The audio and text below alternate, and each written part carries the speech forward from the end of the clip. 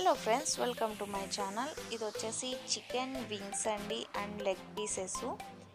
ఈ చికెన్ వచ్చేసి one kilo ఉంటుంది. అందులోకి వచ్చేసి టూ టేబుల్ స్పూన్స్ వచ్చేసి ధనియాల పొడి తీసుకున్నాను. నెక్స్ట్ చిటికెడు చెక్క లవంగా పొడి. తర్వాత రుచికి సరిపడా సాల్ట్ తీసుకుంటున్నాను. కేవలం రుచికి సరిపడినంతే తీసుకోవాలి.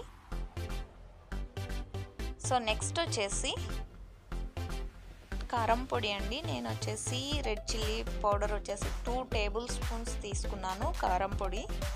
కొద్దిగా స్పైసీగా తింటాం మేము. సో ఇది వచ్చేసి chicken masala powder. Half tablespoon తీసుకున్నాను. క్వాంటిటీ ఐడియా ఉండి నేను ప్యాకెట్తోనే వేస్తున్నాను. హాఫ్ టేబుల్ స్పూన్ ఎగ్జాక్ట్లీ వేసాను. అండ్ గరం మసాలా కూడా హాఫ్ టేబుల్ స్పూన్ వచ్చి ఉంటుంది. నేను తీసుకున్నది.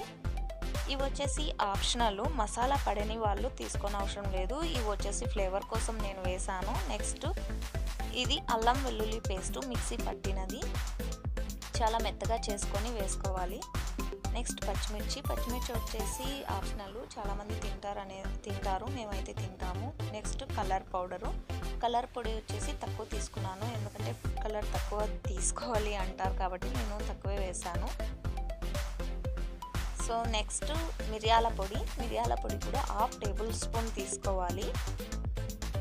ఫ్లేవర్ కోసం అండి మిరియాల పొడి కూడా. చాలా బాగుంటుంది. ఇందులోకి ఎగ్ మెయిన్ అండి. ఎగ్ వచ్చేసి చాలా బా మంచిగా బైండింగ్ అవుతుంది. అంటే మంచిగా అతుక్కుంటుంది మసాలా అంతా కూడా. బట్ నాతో ఎగ్ లేనందువల్ల పెరుగే ఇంకొక కొంచెం ఎక్కువ తీసుకొని కలుపుతున్నాను.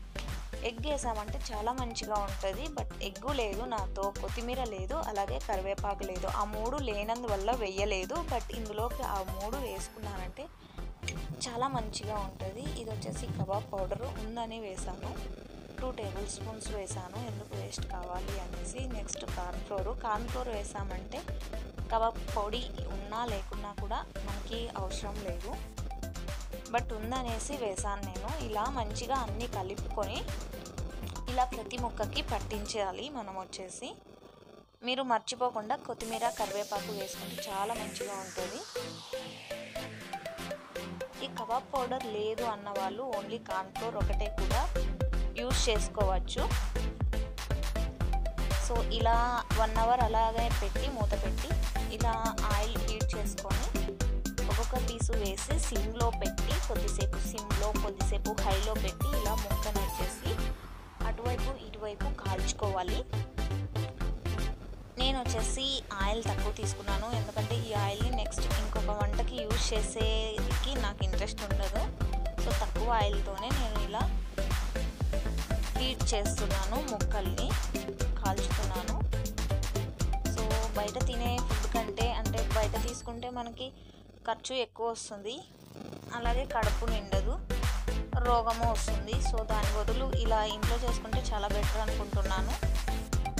లాక్డౌన్ టైం నుంచి మేము వచ్చేసి పల్లెలోనే ఉన్నాము. సో ఇలాంటివి పల్లెలో చేసుకొని తింటే ఇంకా బాగా మంచిగా ఉంటుంది అనిపిస్తుంది మనసుకు వచ్చేసి.